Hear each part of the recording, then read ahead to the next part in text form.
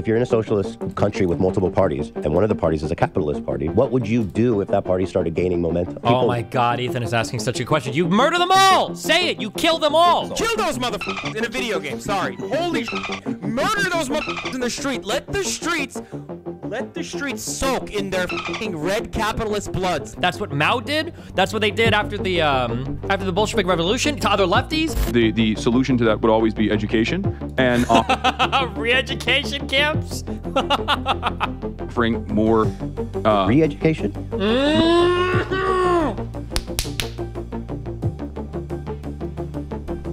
re-education. Certainly, yeah. In a socialist nation, on, on the other flip of the coin, wouldn't you also also have this a similar movement of people, a party of people wanting to move towards capitalism? There will there will probably there will always be yes people So what's who the are difference? counter-revolutionary. Um, Well, not just that. I mean, there's a move because capitalism, um, social democracy. There's a certain level of individualism that you don't have with with uh, socialism. Per- Perhaps I would say, and so, and so I would ask you, what's the difference? You're saying that social democracy nations are gonna, the rich people are always gonna be trying to erode the system. That's an assumption, by the way. well, it's not an assumption necessarily as Well, it's uh, just not- it's as just not conc- descriptive in comparison to like.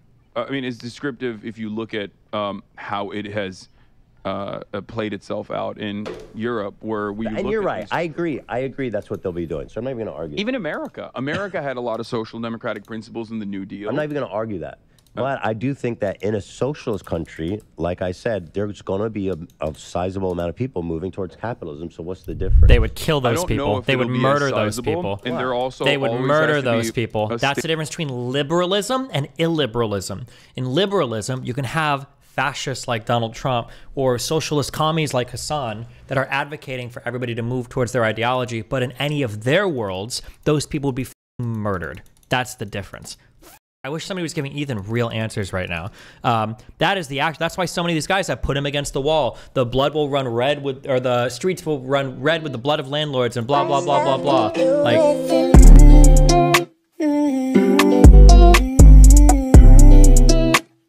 state mechanism of control, which exists in neoliberal capitalism as well.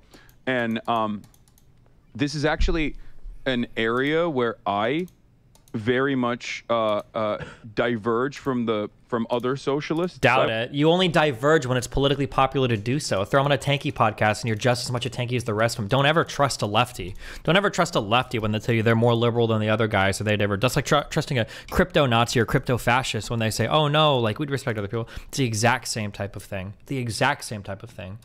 I would say, or even more orthodox Marxists, that I believe the neoliberal mechanisms of control, um, specifically, uh, it's just The how do I boogeyman. describe it? Free market.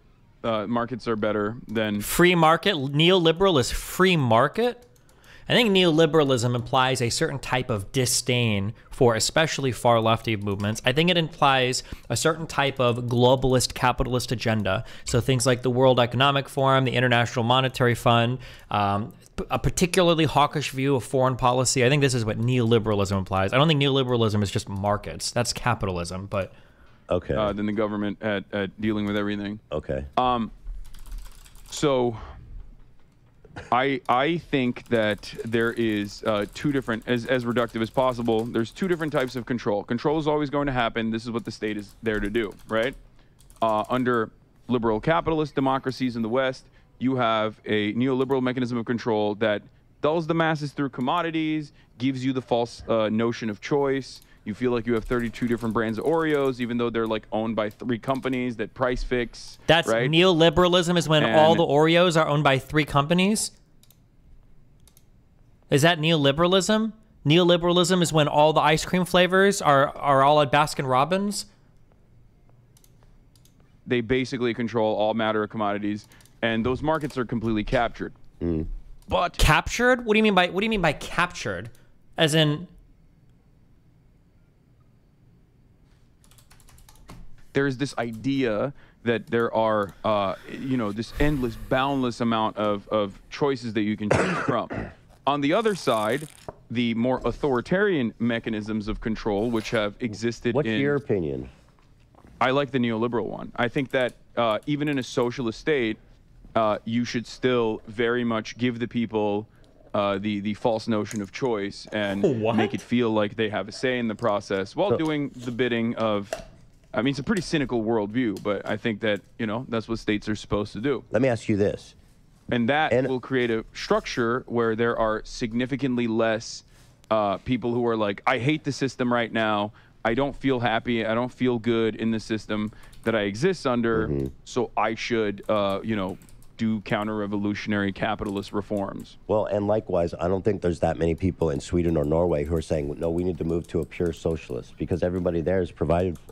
I don't True. think there's large. I, I'm speaking True. No, you're here. you're absolutely right. right. You're actually 100% correct. so, like- some Orthodox Marxists actually hate the welfare state for this reason because the Why does Ethan tweak out so much? Um, I believe that Ethan has Tourette's, so that's why you kind of see him make like weird jerking motions and sometimes, as that's part of his Tourette's syndrome.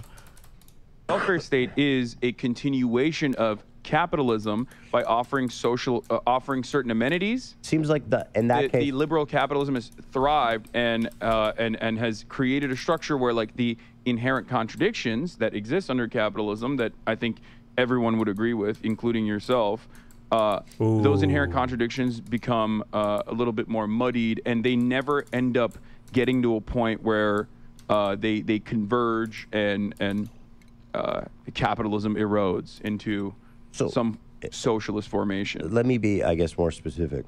If you're in a socialist country, is there one party or multiple parties? Um, it depends. I mean, Hey, let's look at Vietnam. I mean Because one party. Hey, let's look at China. Oh, it depends. Imagine having to say it depends. In capitalism and neoliberal societies, you're given a false choice when all the ice cream manufacturers are really ran by three ice cream makers. Oh, how many political parties do you get in a socialist system? party's scary, right? Can we agree on that? A one party I would- system is not a good system. I think you and I would agree that we. No, no, no. I'm just asking you. I don't care about the United States. I'm asking you about socialism. I, I I think that there are different forms of governance, and the United States. God, he's such a weasel. Does his audience see him weaseling? Do you think? I think one party would be bad. Well, um, there are uh, different uh, forms of governance. States is not that different. I don't from- care about the United States. I want to. Know, I just want to talk about a socialist. I think that no matter what happens, the state does what the state is supposed to do. You can either What do a non-answer. It at the behest of your citizens because you genuinely, earnestly believe that like that is the best possible way of developing a society, or you do it at the behest of capital owners and and capitalism. So you're saying you don't think it matters if there's one party or? I don't think it matters as far as um, I care about direct demo- de- direct democratic participation in local uh, in in local One positions. party systems with socialism. How can you answer that way? Imagine saying, because the whole center point for the whole like quasi wannabe democratic cuck bullshit is that well, democracy, democracy, what democracy in the workplace? Now, after complaining that there are only three different Oreo makers, now you're going to complain that, or now you're going to make the claim that it doesn't matter how many political parties exist. More communism has pretty much always been a catastrophe. Yeah. A human humanitarian disaster. No, no, I agree with that. There's just so much risk in having one party. I, I agree with that. I think that a multi-party system is obviously going to be better. My oh, now he says it. A minute or two after bullying from, from Ethan, he finally says it. Okay. point is that it doesn't even matter if you have a parliament. It doesn't even matter if you have a multi-party system. the changes that are being made in one direction or the other are oftentimes incredibly marginal. Um, and and Let's, Yeah, that's how systems work by marginal incremental change. Welcome to every parliamentary, congressional, government thing ever. Yeah, that's for stability. That's what you kind of need incremental change. No country would work if everything was dramatically changing every fucking two months. and the differences are not born out of like uh, So- you know the party disagreements. The differences are born out of like genuine material conflict, like even including like the civil war. It's never like the kindness of people's uh, or, or like one party of individuals being like we are kind, we want to do good things, and the other side is bad. Because you're not supposed to be kind and doing good things. You're supposed to be representing your constituents. Congress and parliament and executive leadership, it's not about kindness. It's about doing what the people that voted for you want. bad and they want to do bad things. So Like, what I want to say was this then. What? If you're in a socialist country with multiple parties, and one of the parties is a capitalist party, which would surely exist. Yeah. What would you do if that party started gaining momentum? And it was clearly like people. Oh my God, Ethan is asking such a question. You murder them all. Say it. You kill them all. You kill everybody. That's what the leftists do. That's what Mao did. That's what they did after the um, after the Bolshevik Revolution to other lefties. That's what you do in a leftist country. When you take over, you kill all the other people. That's what happens. Wanted that. That's what the Nazis did when they took power.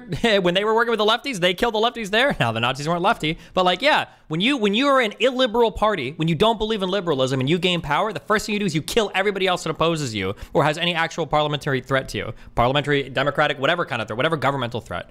route. They wanted that route. Yeah. So what do you do? I think um, I would do what America has done. Not that Oh my God, he's such a pussy. How can you, how can you be this tall and eat that much chicken and be such a pussy ass little fing bitch? He's actually such a pussy. Can we get like some four foot eight midget here that Hasan can press that he can get some of his fucking confidence back? God, he's such a weak willed individual. Oh my God. Say it with your fucking chest. Holy shit. to the same Which is degree. what? Not to the same degree as like uh, you know McCarthy's trials or anything like that. Um, Oh, so you- so you would be you would trial them? You'd convict them of crimes? You bring up McCarthy, McCarthyism, the guy that hunted down everybody for communism? Does Ethan know the reference? What you're saying right now? but um, I would offer additional amenities to ensure that people are comfortable and happy because I feel like any But what do you of do if they're like, nah, fuck that. We're doing capitalism. Yes, yes. if everything is if everything is given to you Yeah. at that point, if every single thing is given to you, if all of your problems are solved, which I think we can both agree uh, is is not under capitalism and has not happened. No. Um, if all of those problems have been solved, then there is no need for conflict of that regard. But Th- they're saying no. We want to ultimate. do because they're like, yo, this is a free country, right? Well, we want to do capitalism. We think the market should regulate the prices and shit. Like, There- we always- don't think the workplace should be um, socialized. Okay, that's a great that's a great question. And what about you have to ask why though at that point Oh my because God. Well, But he people won't never can be explained by why anyway. Hasan won't you know answer I the question. people are gonna be dumb. You're right. It's like you don't. It's just gonna exist. you Hasan know won't answer because the question is you would kill them. Just say it. That's what you would do. You would kill people who are opposing you um, in your illiberal regime. If liberals come up and you're illiberal, you would kill them. That's what you do. Yeah. And so if keep the it- and so if the will of the people is to go back to do more of a social de- democracy, is that something that a socialist country should move towards, or should there be resistance in the government to keep socialism? I think the resistance should be akin to how capitalist governments have resisted historically any kind of socialist movement, not to that same degree of violence, but I think that yes, um, the the solution to that would always be education and Re-education camps? offering more. Re-education?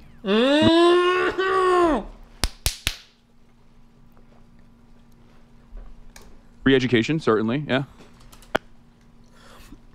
Somebody give me the um. Somebody give me the clip of that one loser who's like, we would house our comrades in uh in re-education camps. Somebody please give me the clip. Please give me the clip. I know that that's like a Let's trigger word. camps. No, no, not like that. Um, I know there's a Oh, trigger not the camps. Oh no no no no no no no no. Word because everyone goes, "Oh, re-education." What do you mean? Like immediately people think like, "Are Well, you China talking about? that. Are you talking about like resident schools? Are you talking about uh, China has Xinjiang? Yeah, 100. percent They yeah. do. They do it. They did it in Xinjiang, Which which, I isn't think good, was, right? No, I don't agree with that. Yeah. Yeah, I don't think it was good. Uh, this is uh, something I have openly criticized as well. Like the that's not good. The massive surveillance apparatus that they built in Xinjiang is not good. So what would be good though the- about a socialist re-education camp for capitalists? it wouldn't necessarily. I don't think it'd be camps. I mean, it depends. Well, it wouldn't be camp. Oh my god, I I don't hate him. I don't hate Hasan. What I hate are all of the mind-numbingly retarded fucking fans that can watch him squirm like this and not think that it's the most. You literally have the. f***ing- You've got like the drunken Dayquil master over here, okay? Ethan asking the most innocuous questions, and Hasan is acting like he's getting pressed in front of like a fucking Senate Judiciary Committee, and he's like under oath, and he's like committed like 50 million crimes he's trying to hide from the United States. Like it's actually appalling. depends on Or you get- it depends on camp, crimes, yeah. right? Like, are people committing crimes at the behest of this? Because if there's a socialist state and someone is doing like white terror, let's say, or someone is doing South. Korean style, uh, you know, purges of communists, which have always, which has happened historically in every country that America. Sorry, hold on. We just skipped so much shit. This stupid. My synergy froze. Oh, this is the um. But rather than a This is the clip. Hold on. this is what they want to do. abandoning the diagnosed or untreated mental illness will be substantially lower. It's a sad fact that some violent or predatory individuals may never be capable of entering back into society. But rather than abandoning these people, we must do our best to give them the best possible chance at recovery and reform with the hopes of eventually re entering society. In situations where reentry does seem possible, care must be taken to monitor and assist these reformed individuals to preempt relapse or deception and to ensure that the patient successfully merges back into wider society. Reactionaries and counter revolutionaries would be treated in a very similar manner. How we deal with former capitalists, fascists, and other such oppressors will be one of the great tests of anarchist society.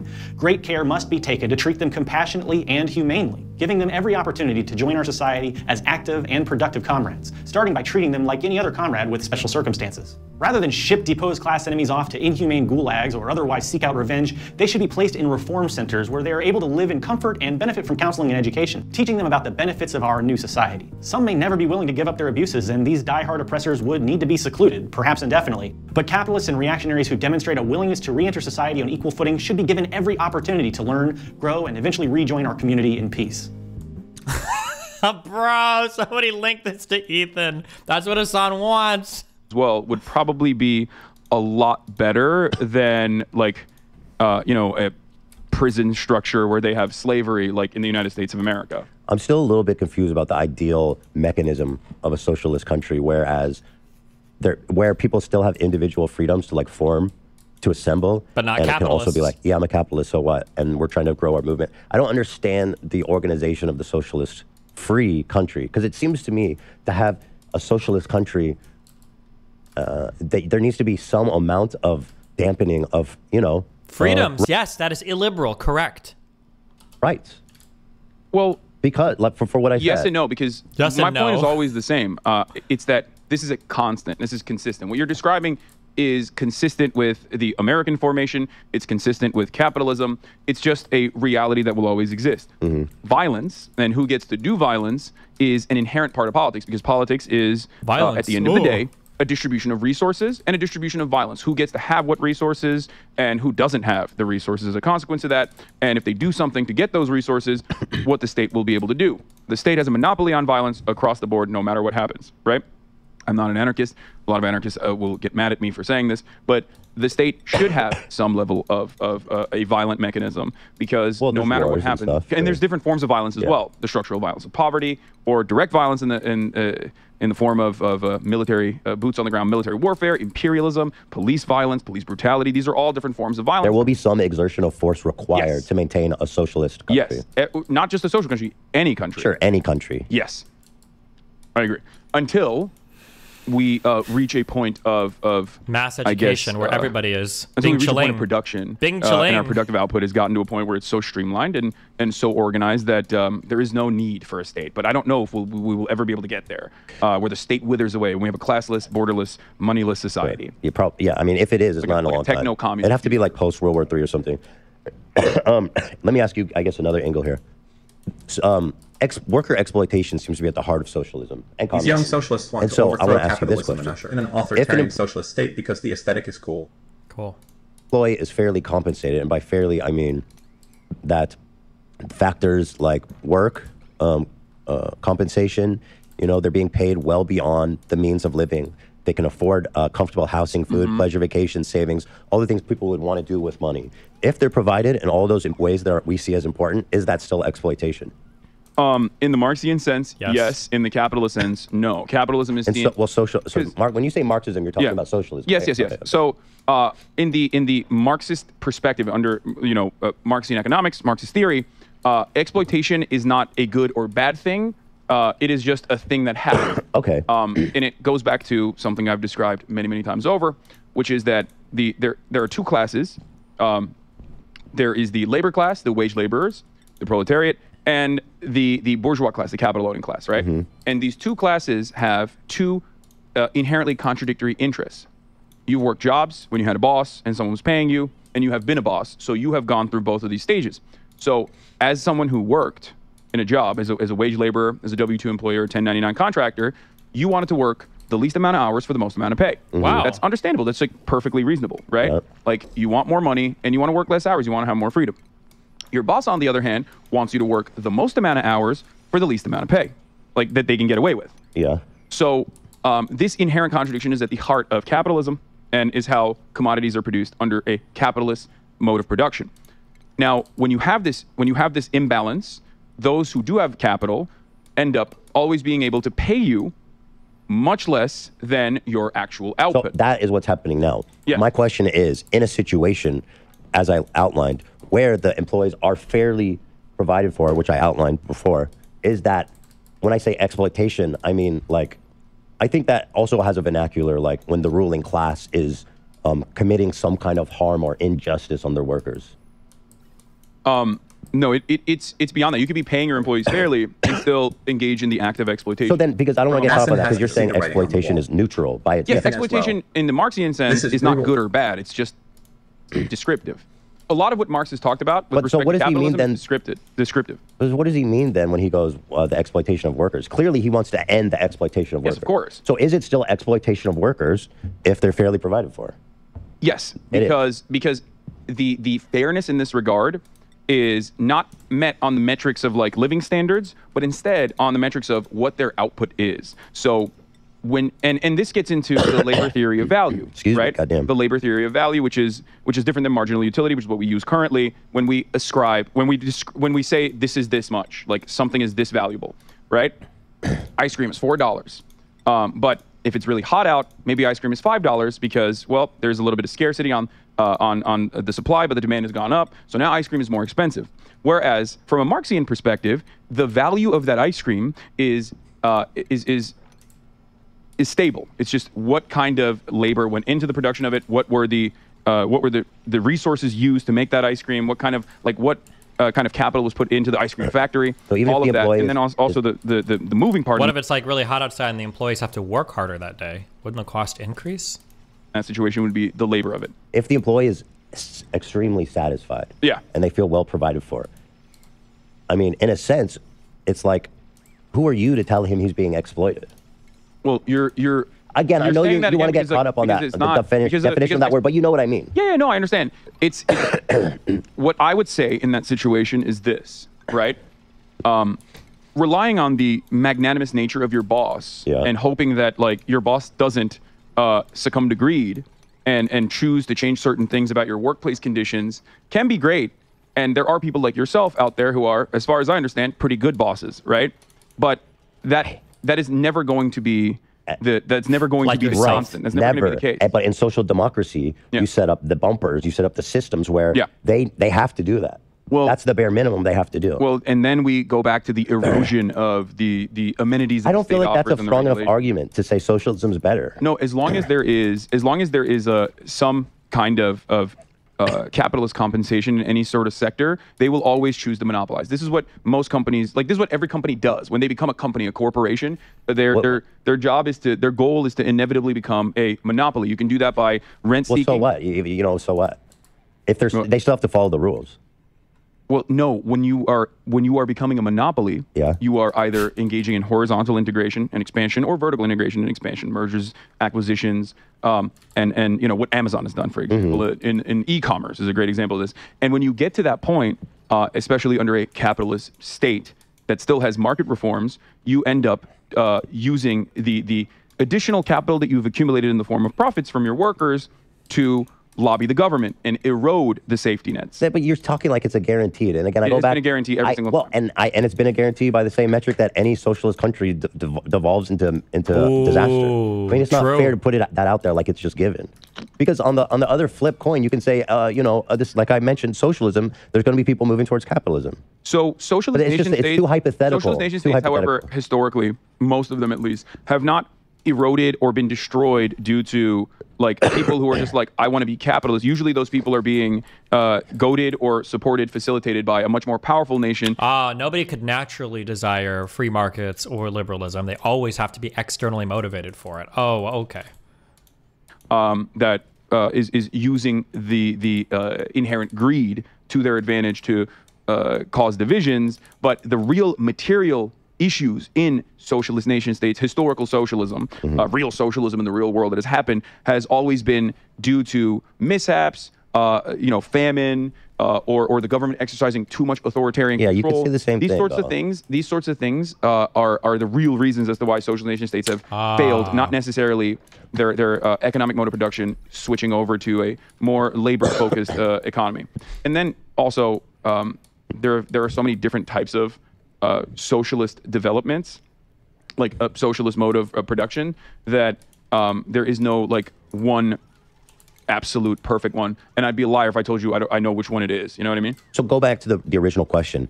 Let's just ignore this um, theory that in social democracy, and I'll say this, you know, obviously we have antitrust laws that are not good, that are not been effective in the least bit. Yeah, That's I would also ask you something why. you can regulate. no but i would ask you why Well, because our, our government is super corrupt. Why is the government corrupt Not Because best take. people Oh, are, no. are inherently flawed. you think the government's corrupt because people are inherently flawed corruption in that sense i disagree with you there Some people, not all people. That's another thing I said. People know. are inherently greedy and people lost their mind. Some people are. The Actually, reason- I want to talk about that at better length, but go ahead. That's actually a great take as well. We can, we can cover that as well. Yeah, I um, I always butcher this quote, but I, f- I forget who it was. It might have been Mark Fisher, might have been someone else. But um, assuming Hasan that greed is inherent in human nature under a capitalist organization of the economy is like assuming the black lung is inherent I'm not in human saying nature if you work at the fucking coal mine. See, that's that's not a good analogy. Because no, you're In my right. opinion. Greed is a part of it. Self-interest is a part of it. Not greed necessarily, but self-interest is a part of human existence. why we have uh, built societies, and how we've done it. However, Is a survi- is a biological survival Exactly. mechanism. However- if we didn't have self-interest, we would never we, we wouldn't survive as a species. I don't disagree with you. Yeah. You're absolutely correct. My argument always, and many Marxist arguments actually, have always been around individualism and self interest, and how socialism, as a matter of fact, creates more opportunities for uh, individual liberties for the person. Uh, it's only been sold and, and uh, told to people as though it is, uh, you know, this this gray, brutalist architecture, city blocks. You don't, you have to, you know, do your government mandated coal mining job or whatever the fuck. But um, the the ultimate goal has always been to open up more individual liberties. I'll give you an example of socialization that you and I both agree with, right? Healthcare, nationalized healthcare or socialized medicine in general gives you more liberties as a person that you can actually leave your job if you that, that would happen it. in social democracy as well. Yes. However, like I've said, there has to be the the, the countermeasures in a social democracy um, are are uh, the the capitalist forces are significantly more powerful because ultimately the state is still operating as a capitalist state. That is still the norm. So I think we're having like a kind of just like a disconnect, or not a disconnect, but maybe at an impasse on that that idea. But what I'll say, I want to give you a specific example because this this is interesting to me. Um, let's just take this workplace as an example because we're all familiar with it. Mm-hmm. So I started my career 10 plus years ago, and I was successful by myself with zero employees. Yes. I made a lot of money. I was I did well for myself. And then, you know, five years ago into my career, I made a pod, I made the podcast, which obviously you all are watching now. So, so let's say we go back to five years ago when I hired Dan as a freelance. You started as like a f- consultant, Got it, yeah, or a freelancer. Yeah. and obviously you moved to full time, and I'll get to that. Yeah. So he he started as like a freelance consultant. So what would be a fair way of compensating him for that? Oh, employment under socialism. Uh oh. Good luck. In your situation, um, it's it's uh like what is the most like socialist way of doing it? Is that what you're asking? Well, yeah, because that's yeah, what we're talking about, right? Um, it would be it would be profit sharing. Uh, what So that I means just- is Profit sharing is not really socialist, but you know, that's not the worst answer you could give. That's not the worst answer you could give. so so this is this is interesting. So Hold on. This is interesting. You're right. Yeah. This is actually the most difficult aspect, in my opinion, of of like The most difficult aspect of socialism is figuring out how to hire people. trying to create the most ethical way of existing under a capitalist organization of the economy. It's not hard under capitalism to exist as a socialist, by the way. You can organize a company in whatever structure you see fit. Nobody's keeping you from doing otherwise. you are also productive. Uh, Would there be anything better? Technically, a more socialist way would be if somebody wants to work for your company, they need to buy into the company so that they're cooperative owners, so that as the company increases or decreases value, which is going to be relational to the labor that they put into it, you as an employee get to enjoy the benefits of that. That's the fruits of your labor, is the increase of the in the value of the company. And then because you have a part ownership in it, you get to increase your ownership stake as well, basically. Yeah. Isn't that profit sharing? No, profit sharing is when you're paid back. Profit sharing is not an equity stake in the company. That's just like a reimbursement for a good year, a cut of the revenue. and you're royalties versus equity. you're doing like an owned and operated media company where you are the product. So I hired Dan as a consultant. Yeah. Just to help us out to get things. Uh, And I have hired people as well. So then, so then we're pro- I'm profit sharing with him. How much profit am I sharing with? him? Um, So the way I do it, and I think this is this will be. Uh, I mean, this is is- this is instructive for many others as well. The way I do it, like the most ethical way to do it, is basically What try. Hasan does is instructive for others. Oh my god! Before now on that Tankie show, he's like, "Bro, we're just like YouTubers. We don't do shit." But now when Ethan is pressing him, well, hold on, I'm gonna act in a way that's instructive to other social. Now he's got to be like a f***ing role model. Okay. Hello, what's up? Dude, Hi. I have two things to say about Hasan and what he's saying. Okay, go for it. I think one of the re well, I think the reason he supports these like Marxist ideas is because he's a money-hungry, fame-hungry jackass, and he just doesn't like the idea of people making more money than him. And these sorts of Marxist viewpoints would just create a, a society where other people can't out-earn him. Okay, that's a that's definitely a take. Yeah. Secondly, hit, like the Marxist theory of value is fucking stupid. Uh, like what Hasan keeps doing, and what a lot of Marxists do, is they ignore the fact that labor itself is a commodity. And I think you pointed it out before that if it's really hot out and employees are working harder, that would like basically increase the cost of their labor. You know, sure, although big like labor theory of value guys are gonna have ways to account for this, but, um, but yeah, I mean, I understand what you're saying. But I'm sure you're part of the you're part of the Ask Yourself community, right? not exactly. I don't really hang out in his Discord. Oh, because I know they've got a couple of big LVT guys or LTV guys that will sit there and argue um, about Marxist shit. So, but I don't know. Okay, all right, I'm going back to listen to this. Okay, take care. try to make an assessment. Um, sure, there's market considerations on the one hand, like what the normal wage would look like, but that is like the the minimum. You know what I mean? That is like the minimum. that is uh, the the worst possible amount to pay someone in, in the form of wages, in my opinion. Okay. So you have the market considerations on the one side, um, which I don't necessarily care too much about. Um, on the other side, you have your productive output, right? Let's say you were making ten dollars before Dan came on, and now that Dan came on, there you're making. that wouldn't be measurable metric. No, no, no. I know. Wow, the DJ. Thanks for gifting five tier one subs. Oh, I know. I completely agree with you. Yeah. I know. Um, which is why I'm saying it's, it's a tricky asked? situation. It to- almost impossible. for yeah, yeah, yeah. Well, Ask yourself molding. Wait, over what? Why do you even have this as ready to link? and give you mods so you can. I'm listening. mute I'm stuff. here. I'm shut here up! Shut up! Shut up! Fuck, dude. Are you fucking retarded or something? Do you hear me speaking? Stop talking! Okay. Me. well, technically, the other side is also very cruel, but, But we let me- just like have but that's normalized. because in social democracy, people are fairly compensated. It's not cruel, in my opinion.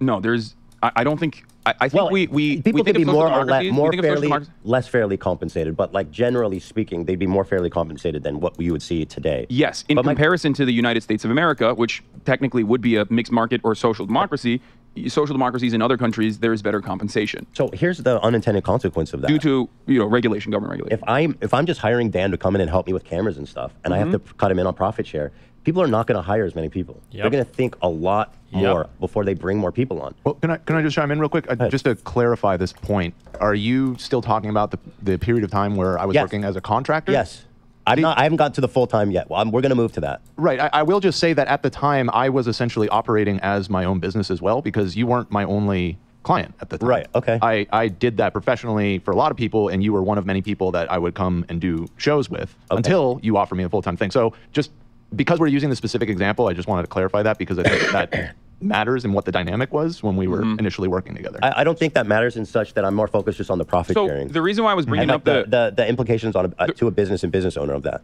Okay, but the reason why I was bringing up the revenue uh, is because let's say you were making ten, you- you're making ten dollars. Dan comes on, now you're making fifteen dollars. Yeah. Right. Dan has brought in five extra dollars of revenue for you, and I think that uh, the the best possible way to to engage with that would be to cut Dan in on uh, like offer Dan living wages plus uh, whatever uh, whatever Dan has brought in in the form of revenue Here's a big problem. and and that moves that moves into direction like you make and then later down the line you make Imagine ever trying to track this shit ever. Imagine you bring in Dan, and what Dan does is he helps your people schedule appointments more efficiently. So Dan comes in, you were making a million a year, now you're making 1.2 million a year. But it's not just because Dan's like scheduling people; those other people are also doing more work. How the fuck do you ever track this type of value add? How would you ever do it? Like with more, imagine doing this with three employees, let alone like a hundred. like a hundred uh, dollars, and and moves with it, now yeah, Dan is Here- moving with it as where, well. Here's where this seems more like it's a nice theory, but like in application, it makes no sense. Who decides how much value he's brought? How Yeah. could you possibly decide that? If my show is growing, Dan joins, and let's say, yeah, I, s- I now I'm making fifteen dollars, but the show was organically growing. How, how can I how can I attribute all five of that to Dan? You're absolutely And am correct I on this supposed- as well. This am is- supposed this is a big split it weakness. 50-50 with him? This is this is something that I do not have an answer for either, which is why, like make I said, which is why, like I said, you make do with uh, you you try to do your very best. Can I what mean. can I be? uh, This seems like Uh-oh. a big problem to say you don't have a solution for. If you're For hiring employees, yeah, you don't know how to do hiring. That seems to be a pretty, and this is the whole central part of your theory is is better employment. That's a pretty big issue. Like, for a socialist society, I, I agree, which is why I But it doesn't always seem like it's ready. Well, can I just ready. chime in on this? Uh, this isn't theoretical. There are there are lots of companies that do do profit sharing. I do this. not like this, homie. There are, what major company does profit sharing like this? Companies might give you stock options or even like allow compensation in the form of stock. That's the closest you're gonna. Some companies might do bonuses. Some companies might pay on commission, but like profit sharing like this, no. as I know, but it's not like. but so like let's say companies, this, like, and, and they have various methods of how they do it. The way I there are ways that do it that make sense. I do this but the way that Ethan. socialism does it in the purest sense is like Dan joined ten to fifteen. Dan gets half of the fifteen. So, that's his. That's his Ethan, labor. Ethan, this is if we're talking pure Hold on theory. If we're talking, but if we're talking pure theory, Yeah. I would rather have an imperfect structure that still absolutely offers better. It doesn't work. Well, if you don't know how people get paid, how does it even work? The capitalist structure also is imperfect in the exact same Well, way. it's functioning at least. Yes, I know, but the the idea that like the other structure would not function is not correct. Especially when we're telling you that even under a capitalist organization economy, there's plenty of different ways of doing But this. there needs to one of the one of the most successful ones that I also have is a cooperative, right? Um, I have a cooperative, uh, uh, collectively organized podcast, for example, where we just split it five ways regardless. Obviously, my output in that situation, given that I am uh, the the uh, like the host with the largest audience, would significantly outweigh my producers, for example, who uh, could be paid uh, with a very fair, very fat market uh, wage, right? Market wage plus uh, market wage times three is what I could pay him, and it would still be significantly less than what he gets paid now. Yeah. Because we're we're cutting him in uh, five ways. We're splitting everything five ways. Yeah. And and that is a perfectly viable way to do it because I think that's very generous, In- but I don't think you should be forced to do that. I Yep. think that I think you should be forced to pay him what we've determined as a minimum wage, where he can live in where he lives in a in a comfortable state. yeah, I, And I, don't, I don't agree think, with that. and I don't think And that it's it not, it- prevents it goes people beyond, from being it goes beyond wages too. generous. It goes either. beyond wages as well. There's also another aspect of this that uh, many people fail to consider, which is decision making. So uh, there's also the structure of decision making, the the structure of autonomy. When we are setting up the time for when we are going to shoot the podcast, like everyone has to be on board with it. It has to work around every single person's schedule. These are all uh, scheduling conflicts exist Oh. usually, but it's like um, in in good faith, every single person is like giving their most, uh, giving their all, and it ultimately, uh, I think, creates a pretty pretty solid product. Let me ask you. So, do you acknowledge that in this socialist uh, theor- theoretical country, where I where I go from ten to fifteen and I give Dan fifteen, uh, hypothetically for any worker joining, that I, as a business owner, I would be less likely to be hiring people, Certainly, and that's not good, is it? no, I don't agree with that. I don't think that's a necessarily a bad thing at all. because like I, I don't know because like I've gone through a lot of people that did not work out, mm-hmm. and they were they they were hired on like a, let's say you still fire them. exploratory. So so is it at will employment in this situation? in this I can structure, you can them? you can still, of course, like you can still uh, have issues with uh, with an employee and fire them. There's it's ironic because like Japan, for example, is like the most capitalist country on the planet, and yet. Uh, in Japan, they have this like very unique culture where getting into a place of business is very difficult. But once you actually have made it into the corporation, they don't fire you. They can't fire you. They never fire you. What they do is uh, they they ostracize you and, and make you into a social pariah within the company Right. and, and try to get you to quit. Is it because they're trying to avoid paying some kind of severance, or is it just No, it's like it's both cultural and I, if I'm not mistaken, it could literally so have gnarly. legal implications as well. But it, but it works, right? okay. it technically well, works. But I'm saying, how, why is it? hey, why is it better, not a good? so as a business owner, I think the fact that I was not super hesitant to hire lots of people, Mm-hmm. find the crew that works. I worked with a lot of people. It did not who were not compatible. Mm-hmm. So I was able to burn through enough people to find a team that that worked, right? Kyle, and so by. if if I was so hesitant to hire people because I have to profit share with them, I would do like a way more strenuous interview process. it That would seems take way longer. Yeah, you're making an argument for why it, it- it's stronger. Like you I don't lucked out with so Dan at all. You lucked out with Dan. I don't think that's Oh, a good argument because first of all, it's good that people can go try a bunch of jobs before they try find one that works. And as an employer, it's good to be able to try a bunch of people to find the right fit for employees. If I had to go through this strenuous process to find each one of them, this podcast may, may very well likely not exist as it does today. Might not exist as at all. I, I disagree with you on that for sure. I think that Okay, I think why? that it's it's better to have a, a strenuous process of of um, ensuring that you Even have for the like best possible. even for like the most entry level job. Um yeah, I think that it's But it's then perfectly doesn't that valid. doesn't that And- result in people not getting work? Yeah. Yes, it will. So there's- but then but then we're Yeah. talking about like an entirely separate way of, of organizing the economy. Uh, Let me go back. Why is it better? same Why way. is it better that I have to go through like extraneous I mean, I'm full we're talking HR processes? We, uh, we we're talking about hypotheticals. Yeah. In this situation. Yeah. So Yeah. it can like I can just hypothesize that you found Dan. Not even hypothesize. Well, no, no, we're not talking. Well, we're talking hypothetically, but we're Like, talking. you found Dan, so you clearly. but we uh, went through a lot able- of people before we found Dan. Yeah. Well, you could have arrived at Dan as well, is what I'm saying. It would have taken a lot strenuous longer, and the business might not have survived. Okay. So There was a point where the podcast almost got wrapped up. yeah. So why is it better in theory to have that extraneous of a hiring process than being able to kind of just people try things out? Um, it's only this is only one aspect of it, but what you're talking about, like the extraneous hiring process, also would exist under a social democracy as well. It, it should exist in some form under a social democracy as well, like some, some level of protection from from being fired. But so in social democracy, you're not rev sharing. So there's like this Yeah. big thing that you're like, I'm a business owner. I've created this business from my own Mm-hmm. sweat and blood and tears over the last 10 years, and I'm making a lot of money. I got to hire this guy who I don't know anything about, and I got to cut him in on my profits. That doesn't exist in social democracy. So the risk to me as the business owner is way, it way, way, way exist, but less. It's much smaller True. to a much way smaller less. degree because it, it's supposed to exist through unions. And once again, it's not just revenue sharing. not- but it's a everyone big always difference, everyone always focuses on that aspect of it. But rev sharing comes in the form of benefits. Rev sharing comes in the form of like how much we invest in It'd be nice if we could talk to someone who knows the system a little more thoroughly, hence Vosh.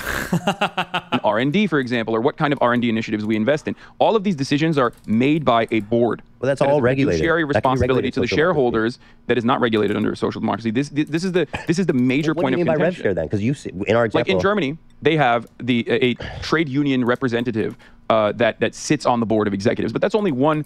Pi- Uh, that's only one aspect of a uh, a larger board that is still representing the interests of, of the shareholders, those who own the company, who never have seen the company. They can you know even globally own it, right? So having one vote in that situation is not as good, in my opinion, as having all of the vote, all of the power, making these decision, decisions as a collective. Something that kind of is not legally enforced here, right, in your structure, but you Ethan kind you abide by he because you're a nice guy. Many people whose videos he reacts to without crediting them. Nice. people are not going to be like that. Many, and I'm saying that we shouldn't rely on the magnanimity, uh, magnanimous we don't have nature to. We we're going back to this point because we don't have to with the right. well, even an place. example, But let me ask you, the one I we, we mentioned got in off Germany point. still yields terrible, uh, like still is BTW susceptible Germany's when not to social Hitler influence democracy. did capital. what you said one by one. He killed everyone who didn't agree with him. Took over every industry and bankrupted them. They burned every book that went against their the brainwashing and militarized everyone to fight the neoliberalists. Gotcha. Let me ask you this. Wait, yes, it is. Germany, Germany, arguably is. Uh, Yes, not every- as much as Okay, I don't know a lot about Germany, so I- I'm not gonna- I don't wanna get America into is a that. social democracy as well. The problem is, like, American social democracy is a is a laughable uh, uh, example So of let's social not use it then. But going back, why is it better? Because I don't think I ever got an answer to have a strenuous hiring process. Why is it better to have a strenuous? Uh, you are when you engage in in commodity production with another person. I think it's perfectly valid to ensure that this person is not going to be like a scumbag and cheat you, fuck you over. I think it's it's good business practice, even in a capitalist sense, to ensure that the person that you're hiring is not like some fucking well, right. random That's dickhead. just that's just um. Yeah. That's just common sense. And the more you but you grow- do acknowledge the he- so you do acknowledge the hesit- hesitancy to hire people. I do. I, I'm don't- necessarily saying it's a I don't know what. Okay, we'll I, I don't think it's a bad. I guess a bit of an because again. because and as companies grow, you have different people in different units that also are you know uh, engaging in hiring. Like it's just that workers now have more of a say in which direction the company should go, and that's a good thing. It's not a dude worked bad for me thing. for like a week. And on my business, I spent five years building. I don't want to give him a decision on where the company goes. Yeah. I think that. Yeah. Why should he have that right? You know what I Yeah. mean? I, I'm not saying the janitor comes in and unilaterally makes decisions. Not but unilaterally, but why should he have any say at all? He's not risking any of it, right? It's not how that works. But I'm curious how it does work. So it's a, it's a, it's communication. The other person is a human being as well. If you have a major disagreement, then you look for someone else to work in that position. This is how it works. Okay.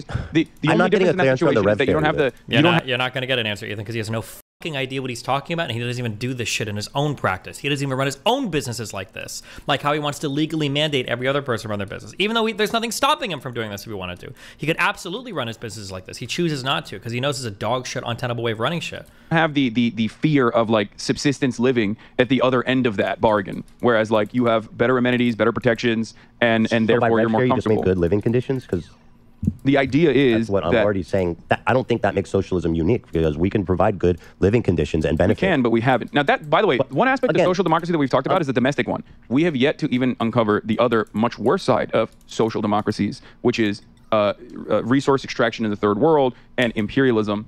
Uh, and and that is a necessity. Yeah, but homie, you haven't even addressed the basic employment shit. Why do you want to move on to foreign policy? Like, under global capitalism, and that is the reason why we have the haves and the have-nots. On the domestic level, you believe that there's a regulatory agency that can make things more just. I don't feel prepared to have a conversation about the third world stuff because I'm not super familiar with it. perfectly fine. But, but like I can, but, I mean, but, I but you understand that like that's a, a part Of of, how I mean, everything listen, works. explo- well, so exploiting in the truest sense of the word is definitely what's been Yeah, happening. even too. on a, even on a capitalist understanding, that's like explo- Yeah. hyper I mean, exploitation. clear, clearly, I think that all humans on this earth deserve um, rights and comfort and yeah. and a right. Yeah, You know what I mean? It, it is funny though. Like life. one thing I It will mention funny, in the though. domestic, you know, What's going back to the labor force thing is that like we're so susceptible and, and so programmed under capitalist dogma that we refuse to see a world outside of it, and we're so captured in that uh, in that worldview that. Uh, oftentimes, the, the, the number one counter against uh, a socialist governance or democracy in the workplace or anything like that is always like, "What do you want? The fucking janitor just came in yesterday to make these decisions." Like, no one no, said he's the CEO I just now. want to understand how it works because you keep saying rev Yeah. share. that's your. Rev share is only one No, component the of it. janitor Rev share don't- no, can be let me tell you democratically assigned. If the we say what?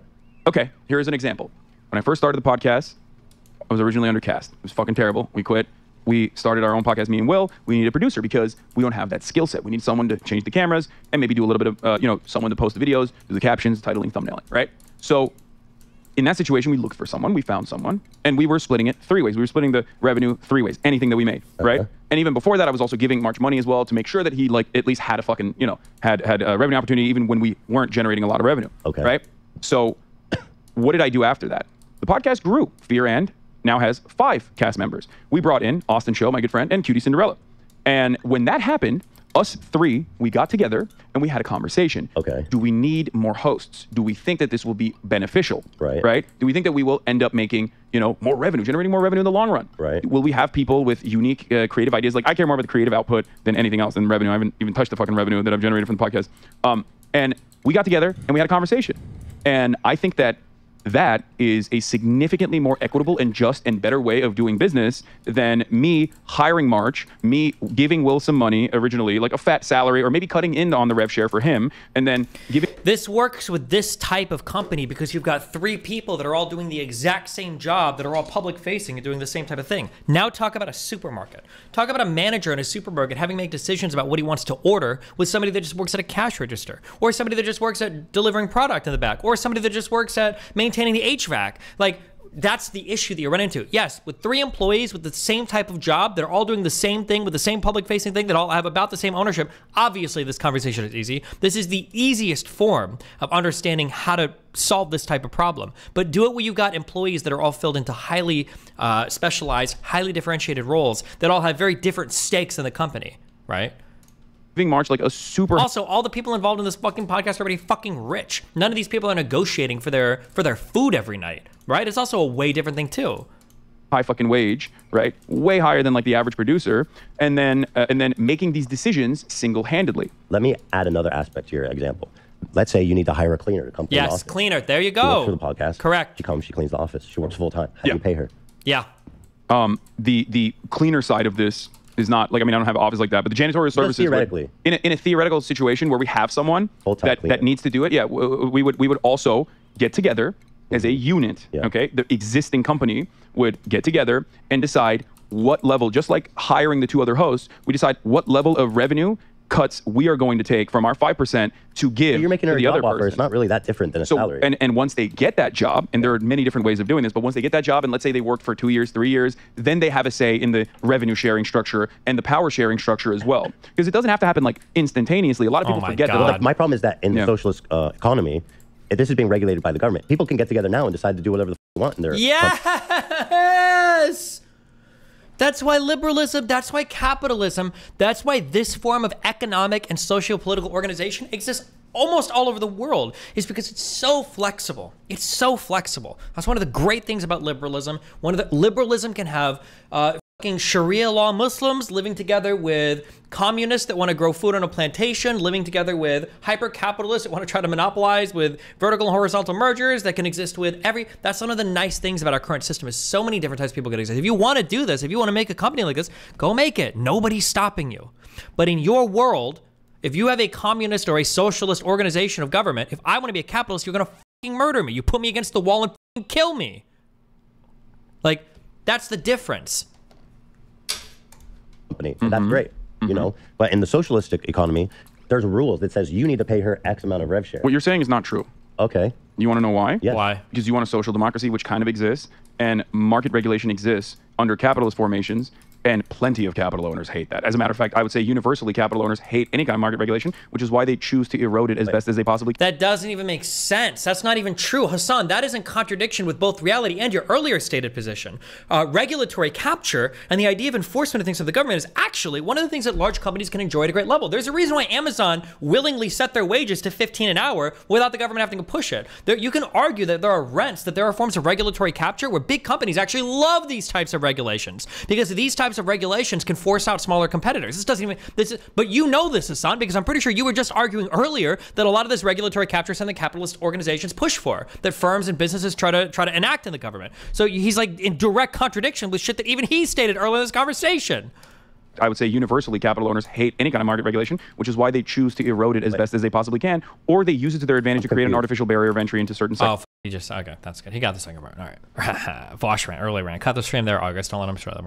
I'm saying in a socialist economy, Also, there's also an argument to be made that there has been international research done. Firms do prefer to operate out of countries where the cost of labor is higher and there's stricter enforcement of like labor laws and stuff, as opposed to other countries where you might have cheaper labor, but the country is less stable due to strife, uh, revolutions, expropriation of shit, government going crazy, blah blah blah. blah. So firms do appreciate some form of um, I'll say regulation. It's not really that they prefer the regulation. What they really prefer is the stability that regulation tends to bring. That is true. there's going to be laws. Just like there are laws in a I'm capitalist just economy asking you capital in owners hate. socialism how how.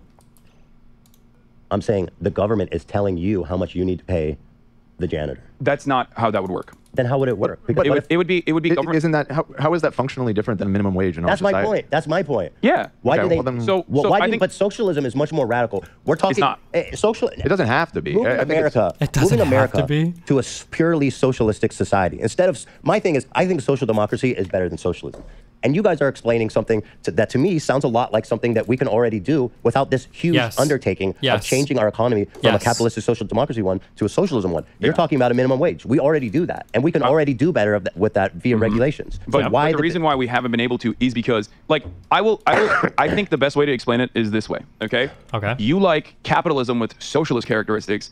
I like socialism with capitalist characteristics. Yo, you just said that. What does that mean? What? So, So- we're, we're both social de- So that doesn't mean that I'm. the no. I still believe that the government Wait, what's should the be. difference now? You said you like difference- socialism The difference is no. I, I said I like socialism Yeah. with capitalist characteristics, meaning that the governing the the the governing uh, economy. Like the entire economy still revolves around a socialist mode of production, where the owners, uh, the workers, are the owners. They own the means of production. They have the, they, they have a say in their benefits. They have a say in And I what can happens fire in them the whenever I company. want, though. Well, you there would still obviously be protections against like unjust firings and whatnot, and there should be certainly. There are Um, now. and there are now as well. Really good, America is a great example in. California, there are really America good. is a great example, however, of like how there aren't. Which how it shouldn't be, and it shouldn't be that way. Exactly. Yeah. And but the reason why it's not that way is because we have capitalism with like laughable socialist Dude, characteristics. that's, we don't even I find it very interesting that you're saying you want socialism with capital capitalist characteristics. capitalist characteristics in the sense that not the, it doesn't touch the means of production or the, or the mode of production, but ne- but offers uh, an offers an abundance of resources and offers the the idea that you have freedom. One of the major problems with former historic socialist projects have always been commodity production being streamlined on necessity and not necessarily silly things like lighter production, industries that revolve around making.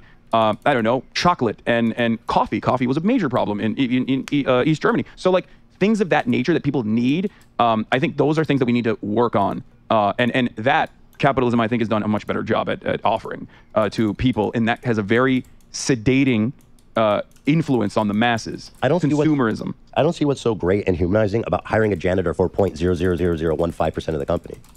What do you? I, I don't understand. Wait, that's not what I said. You, you just you just made that But, assertion. you, but we're saying there's a minimum wage. There's a minimum equity Mm-hmm. share that that janitor would need to get. Well, are you talking about We're in ta- comparison to doing We're talking profit about a sharing socialist model? minimum wage. Uh, right. Uh, well, uh, but comparing it to a, a model where employees are cut in on the profit is what you're saying. Comparing that, uh, what we have No. now to that. Yeah. Okay. So, I mean, I would just point out that, well, so first of all, you would uh, talked about it a lot earlier about like, well, what companies do that.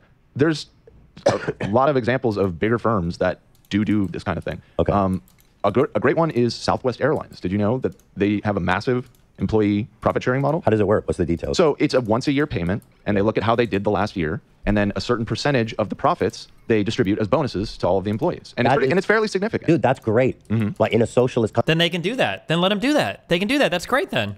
country, how that's it? That's all you want?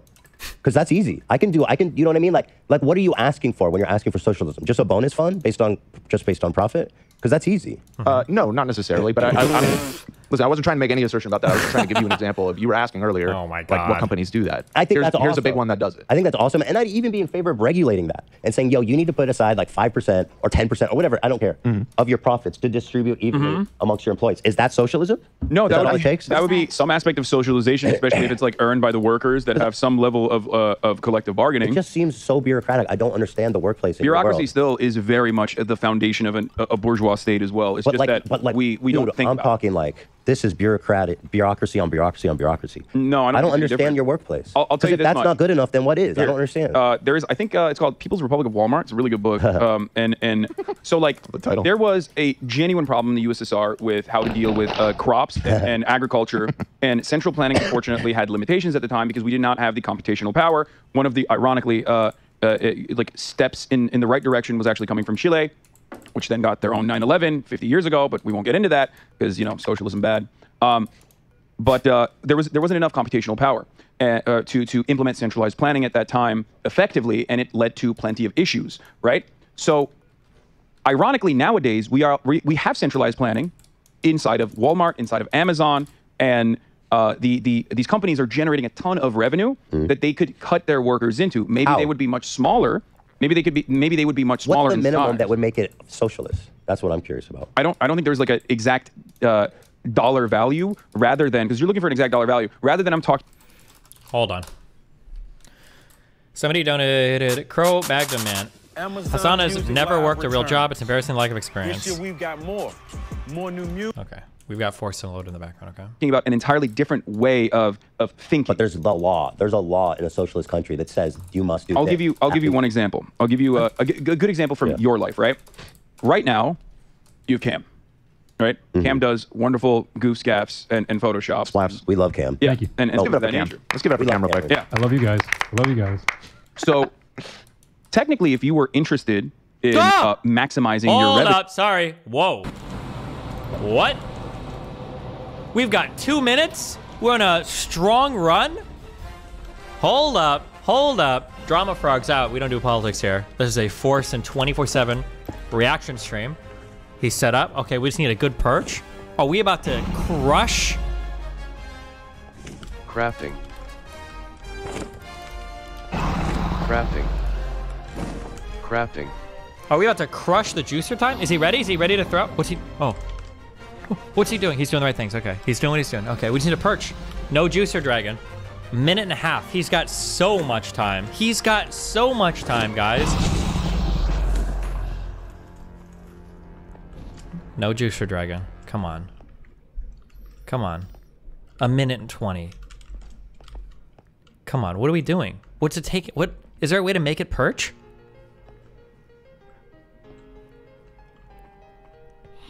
Minute 10. One minute. Is there a way you know when it's perching? Is he perching? How do you know? Does he do a thing? A minute. Oh my god. Come on. What is he? What is the exact time he's got to beat? Is it 1630?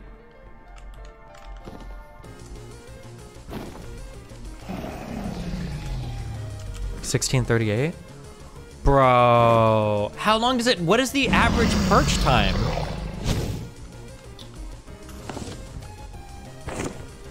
What?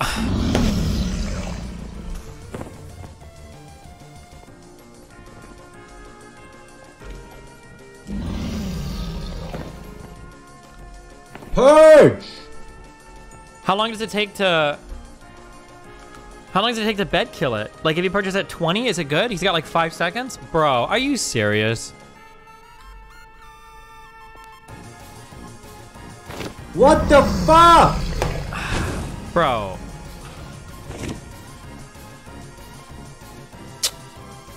He can't do it. Game generating Bro, God seed I- zero what is this, man? Generating God seed thirty. Dude, this is generated dream actually seed. What you could have done instead of hiring Cam was outsource it to Fiverr, or I don't know, get like uh, you know some some Filipino graphic design company. If you were one of those like TikTok guys out there who's like, you know, I fired my entire workplace and like fucking hired everyone in Pakistan for you know five cents an hour. It's fucking sick. Like you could be one of those guys and do that. But the reason why you didn't do that is because you feel as though correctly that Cam uh, yields better output. Hey, hey, hey, no. Chewing? She almost. I Don't caught do her. it. No. You do it. No. Alfredo, you gotta enforce the law on her. No. Alfredo has no interest. Alfredo, you have a monopoly Yeah. on violence Go- in this, what in the this office. dog. Sorry. it's okay. A welcome. Uh, a welcome. Uh, welcome to A welcome break. Yeah. Okay. Please continue. Uh, how cool Um, I am. So if don't do that, and and there should be restrictions on that. Uh, certainly, like there should be restrictions on being able to do that. Um, being able to just like completely outsource your your workplace. Um, those restrictions can come in a capitalist country in the form of tariffs, which many do. Protectionist trade uh, or protocols exist globally, with the exception of the United States of America, which has some protectionist policies, but uh, others that uh, I mean, most protectionist policies still benefit the interests of capital rather than the working class. There. Um, and and trade partnerships have created a structure where like labor has been uh, outsourced overseas. Our manufacturing capabilities have been completely outsourced. These are very bad things that exist exclusively due to uh, exclusively due to greed that you understand uh, under under capitalism that needs to constantly be put in check. But a government that is designed, a government that's full of rich people, that is interested in uh, in, in their own uh, in their own wealth and wealth accumulation, that has stock options and trades like Paul Pelosi, and uh, and and has you know that gets jobs for their family members and Goldman Sachs like Ted Cruz and and many other examples, is never going to is never going to truly represent the interests of the working class and is always going to put the interests of capital ahead of the interests of the working class. You will never be able to have a real democracy. That's the difference between a bourgeois democracy and a proletarian democracy, uh, or a dictatorship of the proletariat, rather than a dictatorship of the capital owning class. I, I just want to know how the socialist workplace works. It seems so nebulous when you talk about it. It is. Why is it? I don't think it's nebulous at all. I, you- I, I have a living, breathing, working example of it that I've given you. No, I know, not but really. like, there's got to be like a constitution that says outlines, or I don't know, whatever the fuck you want to write, right? There's got to be something, and it says like, or, or rule laws Mhm. that says, you know, this is the minimum that a person should get from the company. Yes. And it should would be married to the it be- output. It, should be married to the productive forces. It should be married to the output. That should be pegged. We talked to- about this enough, though. I don't That wanna should be people. pegged to the performance. and I think that that is the best possible way I, to work. I guess my problem on that is like, how could you possibly enforce that? no, not even enforce. How could you possibly even um, uh, analyze that? Like, how much, how much more, uh, how that's much more we go- money are we making because the janitor comes? in? That's where we go to the Walmart example. Um, that like we are already completely aware of that. We have you know What? Uh, it, we have actuaries, we have uh, CPAs that are working in real time, uh, making mathematical equations to figure out exactly what not to pay people technically. Um, and they could be in a What's the total social people? reorganization of the economy with a socialist dogma. Okay, so would, there's- would work in the opposite direction. Okay. It's kind of like this. I, I, I, please, let's move to another topic. Okay, I don't, well- I don't want to bore people. Well, wealth wealth was one aspect of this, right? Like we already have property taxes, for example, in America, but we never make similar mathematical equations on capital gains, earnings that you make in the stock market. Wealth accumulation could work in the exact same way as property taxes, and yet we don't have any mathematicians working on that. That's a good idea, but- and and that's a great idea, right? People probably do that in, in a lot of countries that aren't socialist. Um, well, this is not just the distinction between socialism But that's- and whatnot. okay. Because there is, we talked about But theory. We talked good. a lot about theory, but then we also have to talk about like what is possible, right? At least in the That's short term. And that is the reason why I always try to tell more uh, rugged more more uh, rigid, more um, uh, passionate socialists. That's where I'm to- coming from, To cooperate, I know, to cooperate with people that are also perceived as radicals in America. Like, there's a reason why Bernie Sanders, who has been a socialist his entire life, basically has only implemented, instituted, or advocated for social democratic reforms in the United States of America. That's it. That's the only. There's the, the only reason why he's done that is so that he can, uh, he can he can inspire the masses and and create an opportunity where workers have more control over their own lives and, and develop autonomy and inevitably develop class consciousness, creating uh, ample opportunity for There's so uh, many you, buzzwords. Uh, believe in that sort of Oh thing, my socialist revolution. Right, but that would never happen if the people were were happy with their conditions. I feel like that would not happen. But anyway, let, uh, so let me ask you this uh, to peg this down even more. In a socialist workplace, a socialized workplace, certain jobs are still going to get paid more than others, right? Yeah, absolutely. Oh shit. Okay. Yeah. so there's still going to be class. There'll be class, right? There'll be class distinctions in a socialist. No, the class distinction is not on pay. That's a that's a, a, a Class liberal is on- uh, understanding. That's actually why people be like, you're- to ownership I see people like you're the rich of dude in the. Porsche, and I'm the and I'm the working class dude in the Great question. Great question. You don't think people will see that? So social hierarchies are inevitable. There will be different kinds of hierarchies. What you're talking about is, is perfectly valid. But the class distinction in a socialist economy is not is, is completely abolished. Because the idea is there will be those who have and those who have not is what you're saying at least in the interim. People, everyone will have, but, But everyone people will that have, have, more. exactly. People who have a lot more. Yes, some people that want to have more will be Will have able a to lot have more. more. and even a lot more. Yes, this is why I always And they'll be part of a class. Don't This you is think? why I always talk about no because they have no control over the lives of others in that regard. I find the cl- I don't know why Hasan just said the class in a Marxist sense is your relationship to the means of production. So a class, like your class would be like you're a worker. That means there's a capital owner that owns the capital that you work that makes money off of the land or capital that you work. That's the that's the only class in a, in a Marxist sense. I think it's how they view class. It's not like rich, poor, whatever. this idea that like people in a socialist country. He doesn't know though. I Hasan knows this. I, I think he's just he's either stressed or not giving the right answer for some reason. Country who are, have a lot more, they're able to make a lot more money, somehow won't be influenced by power or influence or greed. That somehow in you're, the society you're saying no matter what magically happens, it will turn into capitalism. Is what you're saying? I Like, think there will be a there will well, be these people are going to be influencing the system to benefit power. themselves. Yes. Um, the best way to stop that from happening is democracy. Democracy in the workplace, actual, uh, like, we cannot even imagine. Mark Fisher once said, "It's easier to imagine the end of the world than to the imagine end- the end the of end of capitalism." And he was right. Uh, this is this is capitalist realism because we are having this argument within the boundaries and within the cultural understanding of like existing capitalism today.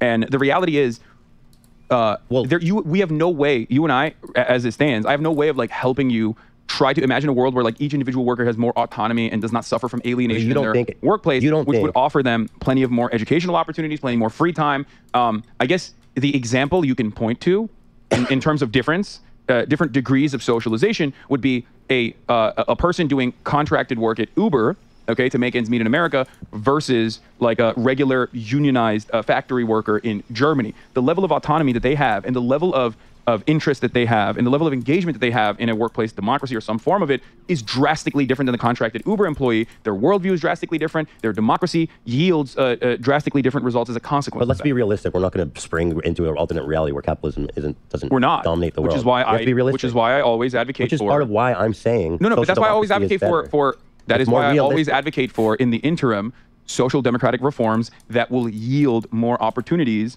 for uh, Dan, that will yield more opportunities for for uh, uh, for workers to organize. Now, So- of course, so you, hold can, on. you can prove you can I want to follow. and I want to follow this out a little Okay. further because I think it's interesting. So, in a socialist country, there's going to be people who make a lot more, and within a company, are they exploiting their workers? The the CEO, the founder of a car company, he makes a lot more than the Mhm. workers. As Is long as it labor as long as it is democratically organized in the sense that like uh, every single person is like no your your productive output in this circumstance is significantly higher than us then yeah that that would Mm-hmm. And be how do they valid determine that? through a They do like democratic process They have like after- a vote for everybody in the company has equal uh, ballot power.